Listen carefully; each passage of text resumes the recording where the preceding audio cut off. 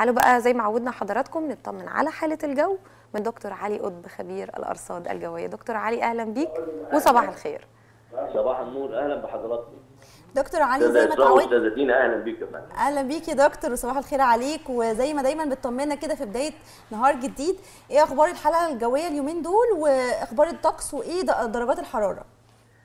آه، نهاركم جديد إن شاء الله وكله أمل وتفاؤل وشمس ساطعه وطقس خريفي معتدل خلال فترات النهار خاصة وقت الظهيرة على المناطق الشمالية آه، حتى آه، شمال الصعيد يميل للحرارة في جنوب الصعيد في فترة الظهيرة فقط اللي هي ما بين الساعة آه، الثانية عشر حتى الساعة آه، الثالثة عصرا ولكن بعد ذلك بتنخفض درجة الحرارة في غياب أشعة الشمس بيعود الطقس في أول الليل مائل للبرودة ثم يكون بارد في آخر الليل والساعات الأولى من الصباح.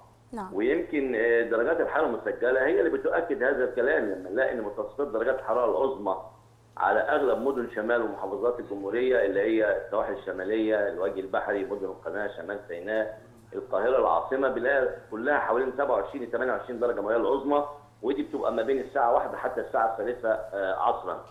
ثم تنخفض ليلا وتصل درجة الحراره الصغرى في آخر الليل تحديدا ما بين الساعة الثانية فجرا حتى الساعة السادسة صباحا تبقى ما بين آه، 18 إلى آه، 19 درجة مئوية في بعض المحافظات تنخفض ل 17 فدي برودة في الطقس. وبالتالي الطقس بيبقى يعني شبه متقلب مش متقلب لكن شبه متقلب. متقلب من حيث درجات الحرارة يعني ارتداء الملابس أثناء فترات الظهيرة يختلف عن ارتداء الملابس أثناء فترات الليل المتأخرة والساعات الأولى من الصباح. ابنائنا آه، الطلاب وفي المدارس اثناء الساعات الأولى من الصباح اللي بيروحوا بدري لابد من لبس الجاكيت أثناء آه، ذهابهم إلى المدارس. وخلال فترات الليل لو في خروج أو أي سهرات متأخرة يجب أن يكون برضه في جواكت خاصة في المدن الجديدة والمناطق المفتوحة نتيجة للتيارات الهوائية اللي بتساعد على إحساسنا بالبرد. سوى ذلك لا توجد أي تغيرات جوهرية والظواهر الجوية اللي بتصاحب الطقس بصفة عامة السحب آه، المنخفضه والمتوسطة ودي بتظهر في سماء المناطق الشمالية بتتكاثر في وقت الظهيرة أحيانا بتحجب أشعة الشمس. ساعتها لو إحنا قاعدين في الظل بنشعر إن الجو إيه ده؟ ده هيمطر. لا هو عشان يمطر لابد من ظروف جوية ملائمة للمطر دوت وهي ارتفاع كبير في نسبة الرطوبة النسبية مع توزيع آه، الضغط الجوي خرائط توزيع الضغط الجوي على سطح الأرض في رطوبة نسبية وما إلى ذلك. فلسه فرص المطر على محافظات الوجه البحري والقاهرة لم تكن قائمة حتى آه، بداية الأسبوع القادم. لكن بتتكاثر السحب وبداية الأسبوع القادم هيبقى في فرصة سقوط أمطار خفيفة فقط على آه، السواحل الشمالية الغربية عند مطروح وغرب الإسكندرية ودي ممكن تبقى السبت والأحد إن شاء الله. طيب دكتور التقلبات الجوية طبعا إحنا كلنا بنحذر السادة المشاهدين منها فإيه الإجراءات الاحترازية اللي لازم نعملها؟ عشان الصبح بيبقى الجو حر وبالليل شوية الدنيا بتبقى برد.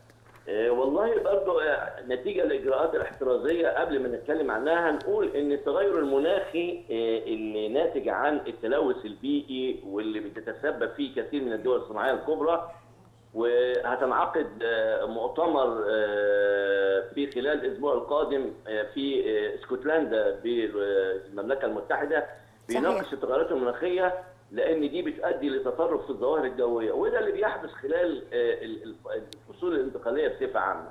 فالتطرف ده نلاقي موجات حرارية عالية، موجات برودة شديدة، فترات الصيف بتزيد، فترات الشتاء بتقل وهكذا عنف في الظاهرة الجوية. ولذلك إحنا لغاية دلوقتي حتى الأسبوع دوت ده الأسبوع القادم ما فيش أي اختلاف في الظاهرة الجوية سوى الحرارة آه، وبالتالي إحنا يجب نكون حذرين آه، في ارتداء الملابس اللي بنلبسها. ملابس أثناء الظهيره ممكن يبقى ملابس صيفية. أثناء ساعات الليل المتاخره من بعد الساعة آه، التاسعة أو العاشرة مساء نقدر نلبس الملابس الشتوية. وبالتالي نكون آمنين في هذا الوضع. النقطة الثانية إن إحنا آه، لو آه، ركبنا باصات أو أتوبيسات تكون مزدحمة شوية لابد من لبس الكمامه عشان التباعد الاجتماعي وعشان نحفظ أنفسنا آه، من أي اصابات لا قدر الله نزلات برد. بالإضافة يبقى فتح نوافذ الباص على أساس إن يبقى التيارات الهوائية تساعد على تغيير الجو داخل الباص نفسه.